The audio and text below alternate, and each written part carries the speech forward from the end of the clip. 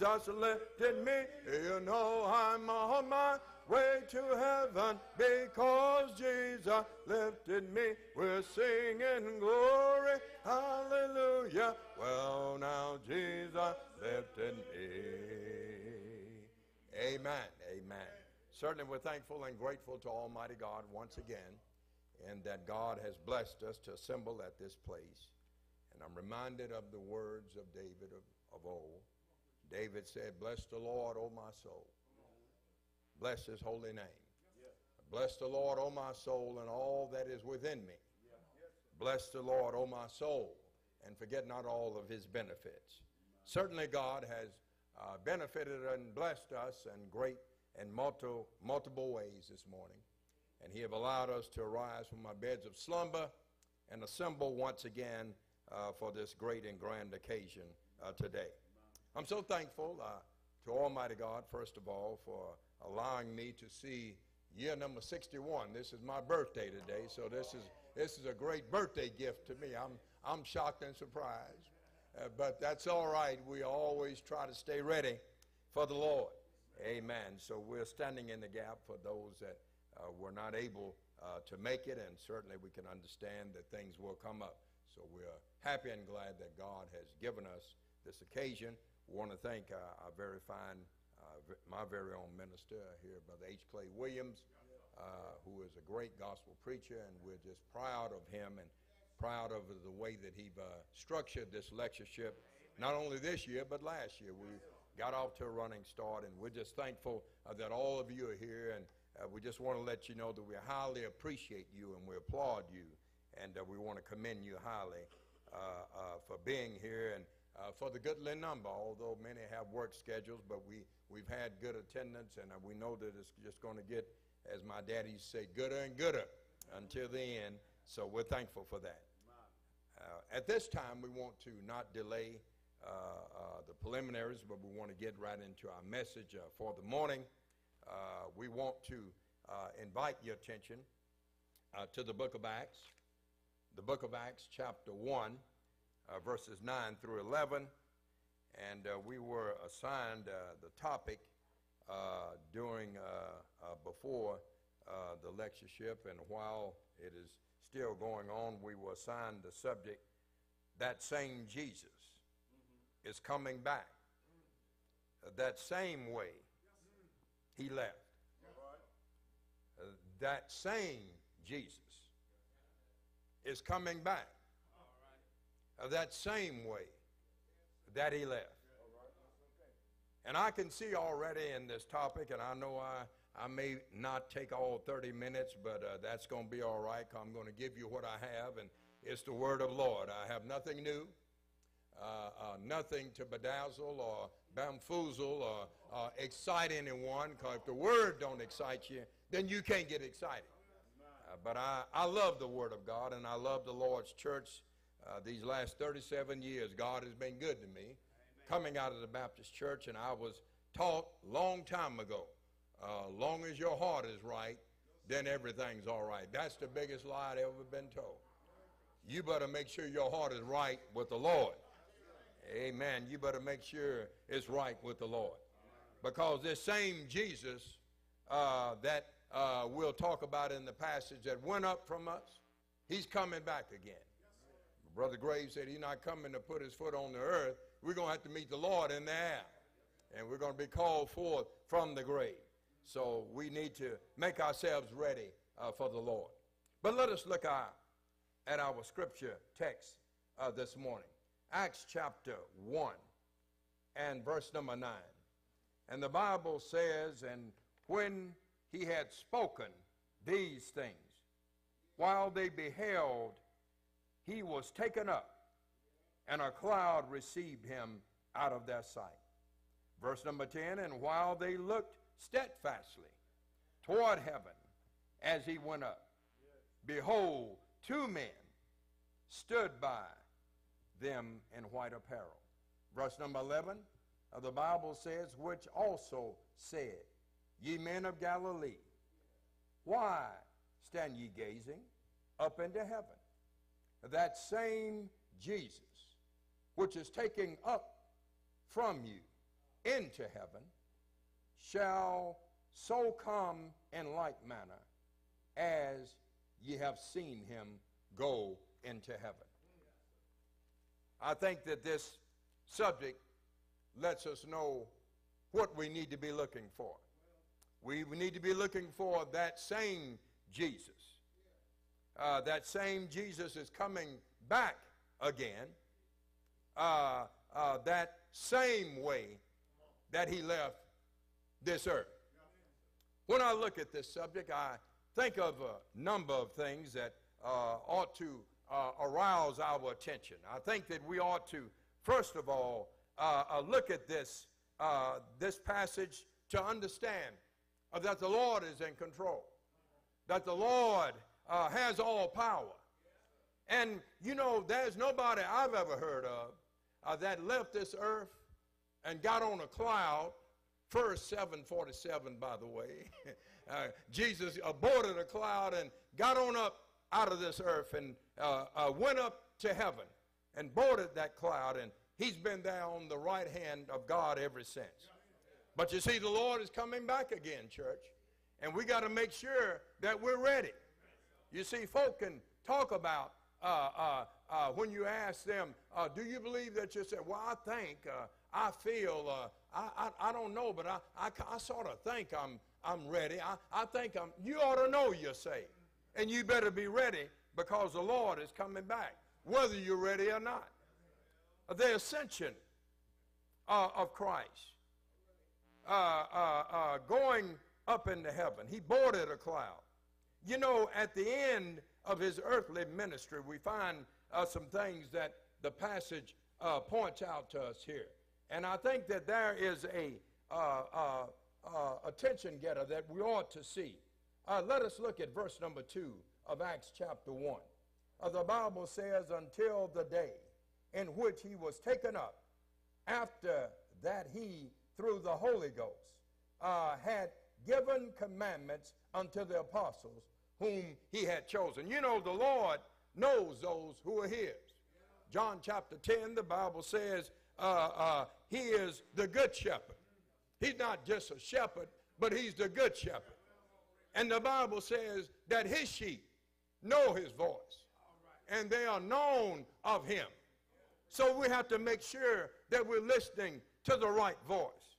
So when the same Jesus comes back, we won't be shocked. We won't be like a lot of folk thinking that they're ready and, and on their deathbed crying to the Lord, asking, Lord, please forgive me. Too late then. I have a brother that passed away in the year of 2001, and all the years of his life that he lived up to the age of 60. Uh, I used to always talk to him about the church, and he said, oh, "Boy, I don't have time for that stuff, Joseph. You, you, you, you, all, all, you just like all the rest of the preachers. All y'all want is my money." I told him, I said, "No, no, sir, you got it wrong. I don't want your money. We're after your soul. The Lord wants your soul." And I think one of the brothers put it best the other day and said, uh, "When the Lord gets your soul and your mind and your heart and your body, uh, then the Lord going to get the pocketbook. That's going to come if you're converted to the Lord. But now, if you're not converted, then that's a whole different story. So we find here in the book of Acts, this uh, first chapter, and uh, this passage lets us know that the Lord was leaving the disciples. You know, it's a, it's a, it's a sad thing to uh, see someone depart uh, that you uh, have been around for a long time. And many of us can identify with that. When our loved ones leave, we, we know we're not going to see them again until the after while if they prepared themselves uh, for such. But you see, Jesus had been uh, with uh, his disciples here and with the apostles for some three years in his public ministry. And, and now this was uh, 10 days, of course, before uh, Pentecost, and the Lord had to go ahead and leave, put it in the hands of the apostles to preach and teach and tell those uh, who will remain that they need to be ready because he was coming back again. You know, there's a good thing, and that's a precious thing to know that the Lord is coming back again. We have something to look forward to. All the mundane activities that we consider ourselves going through. I tell folk on a regular basis, every time we assemble on the Lord's Day, it's not just some rhetoric and some mundane activity that we're going through just because we don't have anything better to do. But we're looking forward to the day when the Lord is going to return. We got to be ready. We got to be ready, church. Look at the passage once again. Uh, the Bible says here in Acts 1 and verse 9, while uh, uh, uh he was speaking uh, to uh, the apostles here, there's something very interesting that I see in verse number 9. Let's look at it again. The Bible says, and when he had spoken. You see, you're going to have to learn to listen to the Lord. That's the problem in the church today. We got folk listening to many other voices.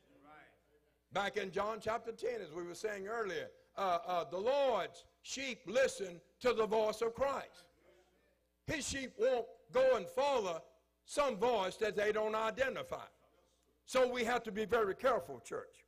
We have to make sure uh, that we're listening to the voice of the Lord, His word, and those who preach and teach His word soundly. I'm not talking about folk who get up and preach a bunch of nursery rhymes and a bunch of stuff that sounds good, so good till it has uh, sugar and honey dripping off of it. And then you ask them after service, what did they preach about? Child, I don't know, but it sure sounded good to me. Well, uh, you better follow that rascal and make sure he's preaching the word of God. But the Bible says here in verse number 9 of Acts 1, and when he had spoken these things, what things? Well, we'll talk about it in a little bit. While they beheld uh, uh, him, uh, the Bible says he was taken up, and a cloud received him out of their sight. You know, it's a good thing to keep your eyes on the right thing. It's a good thing to keep your eyes on the Lord. Because you see, if you don't keep your eyes on the Lord, you'll start looking around and the devil will give you plenty to see. The devil will show you things that you don't need to be seeing. That's why many fall by the wayside, fall from the Lord's church after becoming a Christian as new converts. I, I, I try to encourage uh, our new converts here at North Glenn Heights and everywhere else I've been. You make sure that you're faithful. Don't look around at other church members. You make sure you're faithful. And if you're faithful, then that's what you're supposed to do. Because you see, your salvation is not going to depend upon what I do or don't do. My salvation is not going to depend upon what you do or don't do. But I've got to give an account for myself. The Bible says in 2 Corinthians 5 and verse 10, we all are going to stand before the judgment seat of God. And we're going to have to give an account of the things that we've done in this body, whether they be good or whether they be bad. So we've got to stand before God. While uh, Jesus was speaking these words to them, you know, uh, the Bible says in Matthew 13 and verse 8, He that hath an ear, let him hear. You got to listen to the voice of God. Luke chapter 24 and verse number 51 said something about uh, these words that Christ spoke on one occasion. And it was yet in their ears. You see, we have to let the word still yet be ringing in our ears right. that the Lord is coming back. Oh, he's coming back. You see, uh, uh, the gospel uh, uh advocate commentary uh, put it this way. he said, and while uh, their eyes were still gazing on him, the, the Bible says that their eyes were fixed on the Lord. You see, when you're trying to do the will of the Lord, you better fix your eyes on the will of the Lord and get away from all this crazy stuff that these brethren are bringing up uh, around the brotherhood. You see, you need to keep your eyes on the message and the messenger that's teaching sound doctrine and not just stuff that folk want to hear. You see, this ascension uh, of Christ that took place, when we look at verses 6 to 11, we don't have time to go back and read all of it, uh, but it lets us know that Jesus uh, was raised uh, from this earth uh, in an invisible manner. As he went up, the Bible says that he went up further and further out of their sight into a cloud until they couldn't see him no more. You know, that reminds me uh, growing up as a little boy, my daddy used to always say, just because you don't see me around watching you, don't think that I don't know what's going on. You know, and that's the way the Lord is. Just because we don't see him around, the Lord is still watching. Not only is he looking, he's booking. He's writing it down. Revelation 20 and verse 12. Oh, it's in it's going to be there. It's going to meet us and it's being written. So the Lord has his eyes on us. But what's more importantly, we need to have our eyes on the Lord. Uh, the Bible says that as they uh, uh, looked at him, as he was uh, boarding the cloud and going up out of their sight uh, in that invisible manner, uh, they, he continued to rise higher and higher, and they continued just falling and looking and looking and looking more to try to see Jesus till they couldn't see him no more. But you see, that doesn't matter. That's not the real story. The Lord wanted them to go back and do what he told them to do. You know, a lot of times we won't, some folk in the church won't do anything until they see somebody. Well, I don't see nobody else doing it, so I, you better get busy doing the will of the Lord. Because the Lord is watching you just like he's watching me. There's a song we sing in our songbook, there's an all-seeing eye watching you. So this cloud, this cloud that received uh, Jesus up, uh, the Bible says it was a cloud, number one, that received him. Secondly, uh, the cloud surrounded him. Thirdly, the cloud enclosed him. It was all around him. And then fourthly, uh, it lets us know that he was removed out of their sight. You see, there, there are some things that we got to remember, church, that, that we need to get back to basics. We've received the Lord and his word. We got to keep surrounding ourselves with those who are sound in the word of God. And forget not the foundation. Forget not the sound doctrine. Forget not the sound words. Forget not uh, the doctrine uh, that we need to hold fast. You see, the Bible teaches us uh, uh, in 1 Thessalonians 5 17, prove all things. Amen. Hold fast. Did you hear what I say? I said, hold fast to that which is good. So we need to hold to the word of God. We have received it. We need to keep surrounding ourselves around and then enclose ourselves in the right fellowship with brethren and members who are faithful. You see, uh, a lot of these rascals that's out here and right in the Metroplex, a few blocks away, right down the highway. I don't have a problem calling names. Yeah, because they're going to call our names and they're watching, I'm sure, right now while we're on the internet, and that's all right. And if you disagree with it, come talk to us so we can get some dialogue open and get back to where we need to be. And enclose ourselves with the right folk in fellowship. And then uh, when Jesus was removed from their sight, they didn't remove themselves from what the Lord told them to do.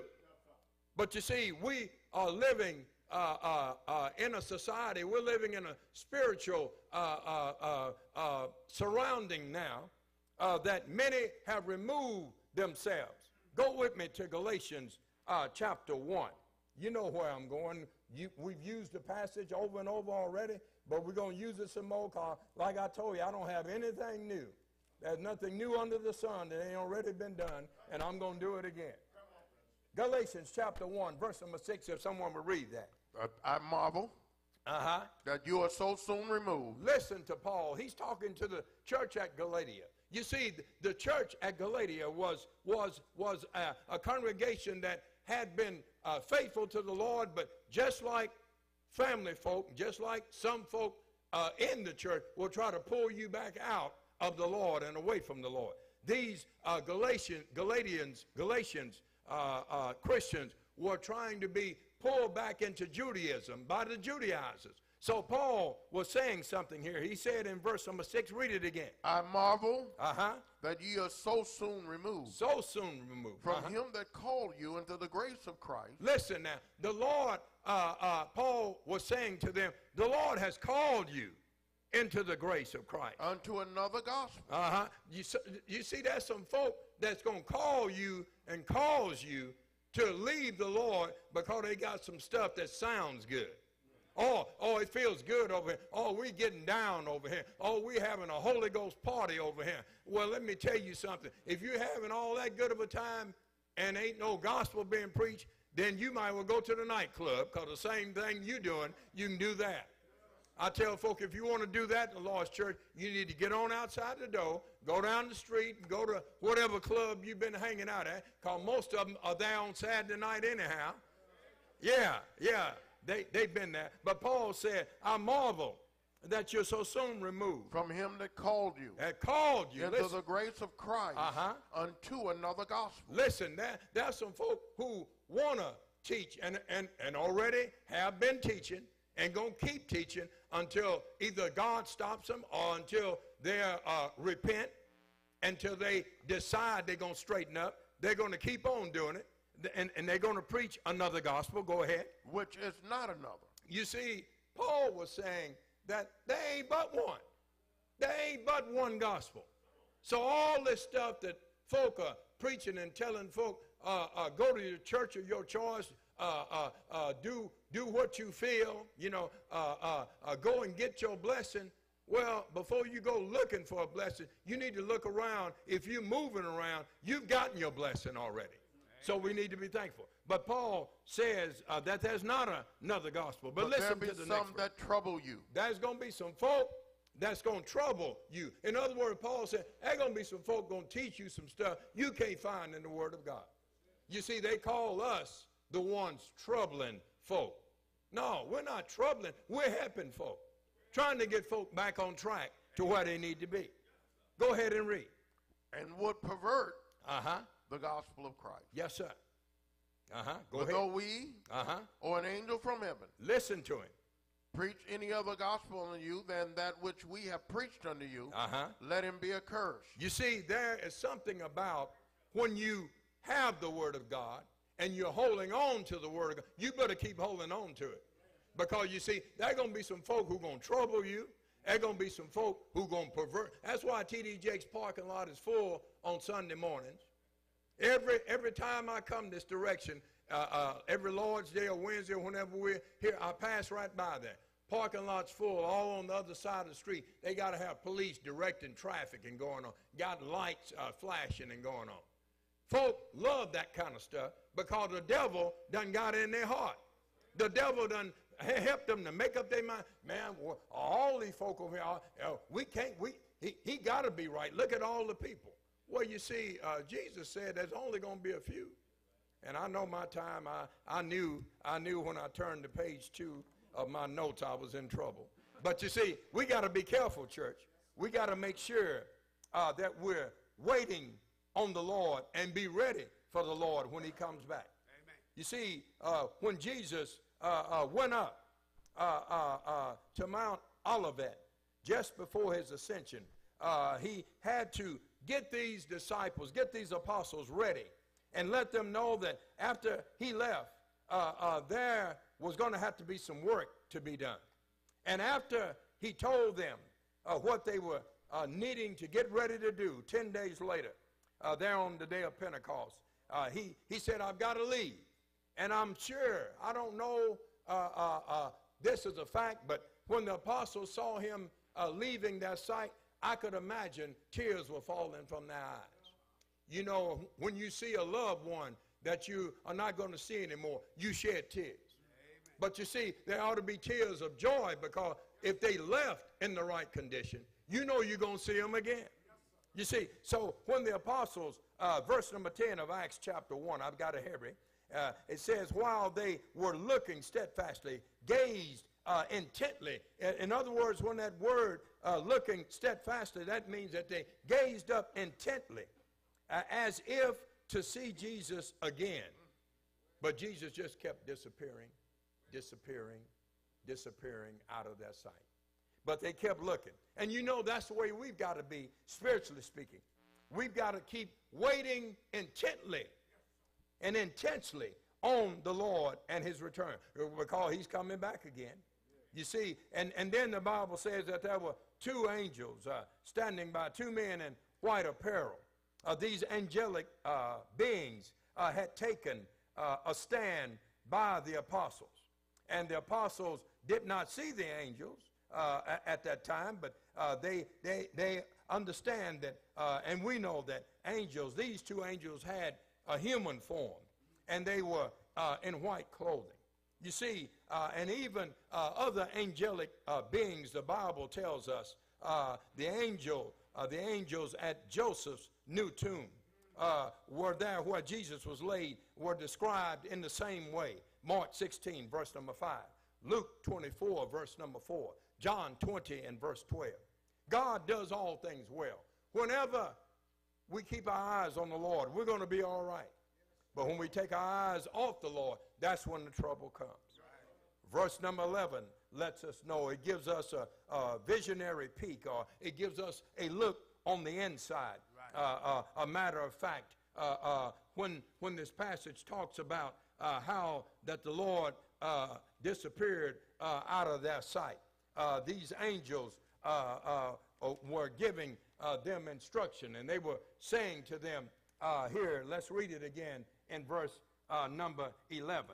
Uh, these angels said, uh, which also said, Ye men of Galilee, why stand ye gazing up into heaven? that same Jesus, which is taken up from you into heaven, shall come in like manner as ye have seen him go into heaven. Church, we've got to get ready for the coming of the Lord. The coming of the Lord is not as far. My daddy used to always say, time is not as long as it once has been. Every second that ticks off the clock, the Lord is getting ready to come. Every minute off the clock, the Lord is getting ready every hour, every day, every week, every month, every year. The Lord is getting closer and closer to his return. Just don't take my words and just don't listen to only uh, what uh, Luke had recorded uh, there in Acts chapter 1, but go with me uh, quickly uh, to uh, Second Thessalonians chapter 1.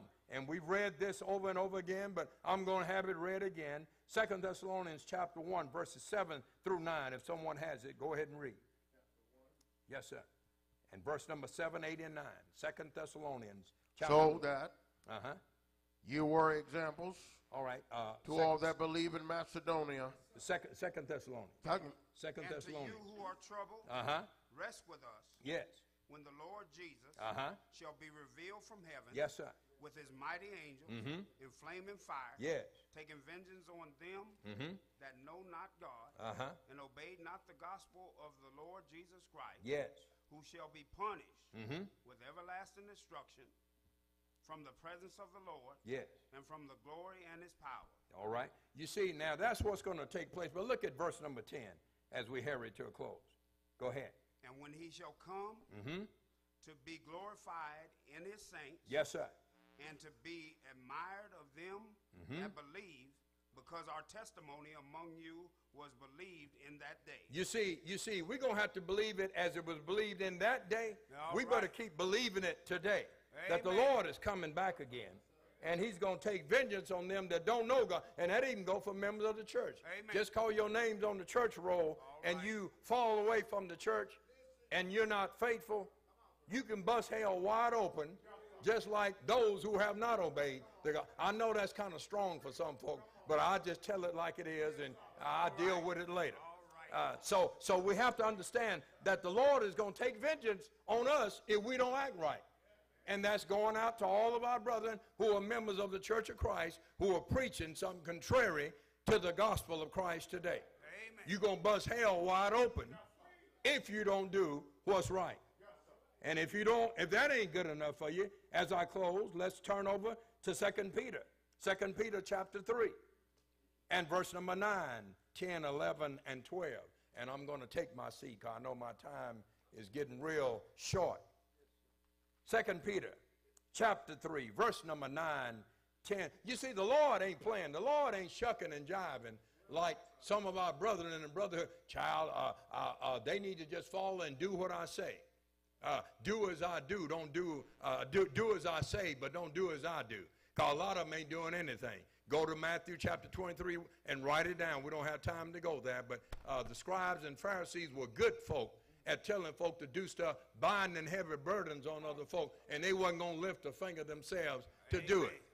Yeah, yeah. They told them, uh, uh, you go do this, but they wanted to be noticed in the marketplaces and be called rabbi and, and be recognized everywhere they went.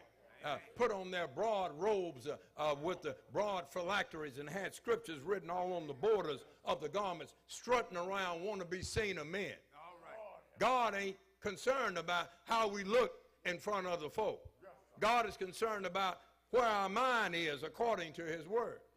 Amen. But so much for that. Second uh, Peter chapter 3, verse number 9. The Lord is not slack Uh-huh. concerning his promise, Listen now. as some men count slackness, Uh-huh. but is long suffering to usward, Yes, sir. not willing that any should perish. Stop right there for just a second. I've got to park and put my uh, uh, emergency flashes on for a second.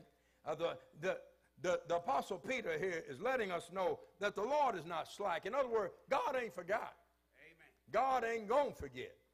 God never forgets. Uh, uh, uh, the Bible says that the eye of the Lord is in every place. Yes, sir. Two minutes and I can do it. I, I'll be done in less than two. But you see, we've got to understand. We've got to understand that the Lord is not slack concerning what he promised.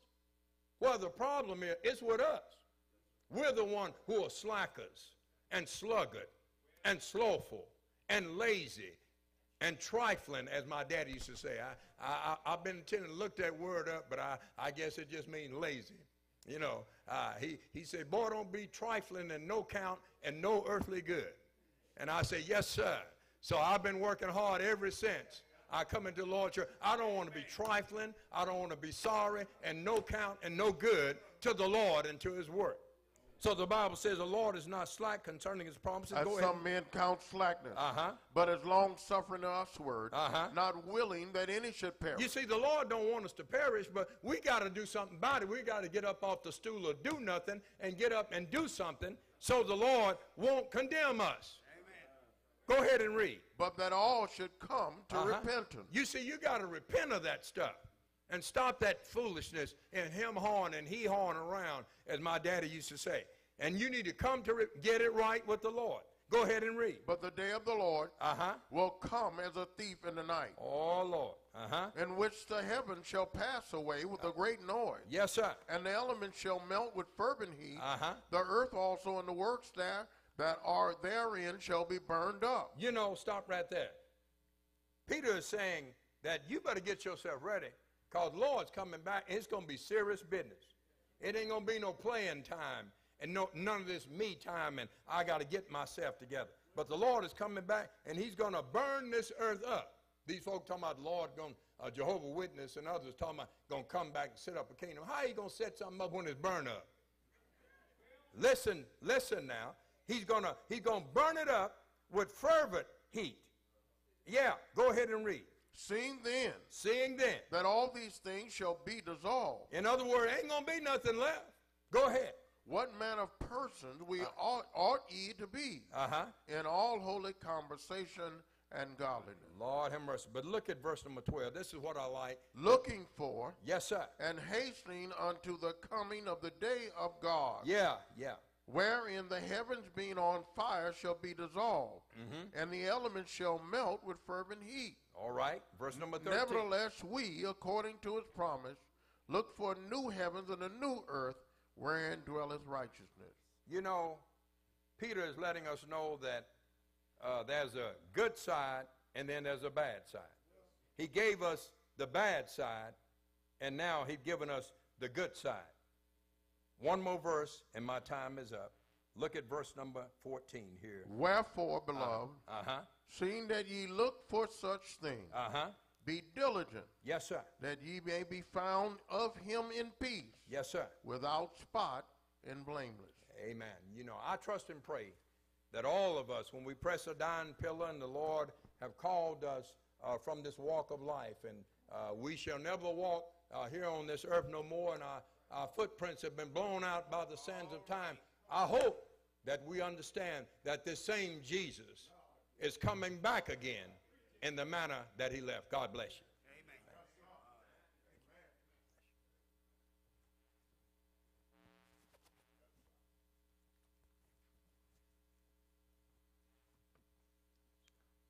Now we know for sure that the Lord is going to come back. Amen. All of these brothers have done a wonderful job this morning. Every one of God's servants has helped up and earned his wages for today. Okay?